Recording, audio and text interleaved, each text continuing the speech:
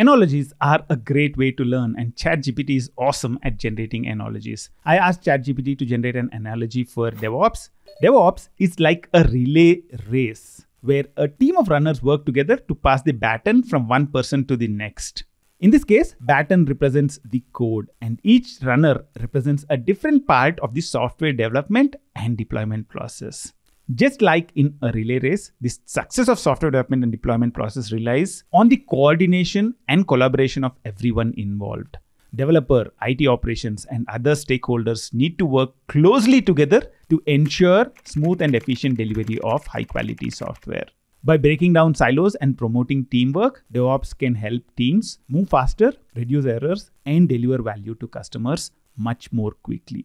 I've seen a number of explanations of DevOps, but I think this is one of the simplest ones. For more ChatGPT, subscribe and watch other content on our channel. I'll see you again.